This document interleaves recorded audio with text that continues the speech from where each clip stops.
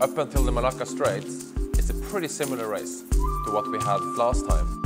Malacca is obviously a tricky area for the sailors. It's probably the most highly trafficked area with ships in the whole world. For the sailors, what this means is also that they're going to have less wind, and that means a congestion of the fleet. So the whole fleet is going to be packed up.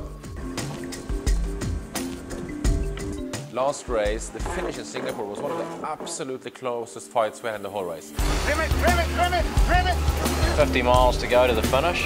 We've got Ericsson 3 to windward. Puma just to leeward to the bow, only two miles ahead. But big difference this time, we're going to leave the Malacca Strait, leave Singapore to the left, and then head into the South China Sea. The weather conditions can vary dramatically. So it's difficult to predict today if it's going to be a light part of the race or a windy part. It can be both.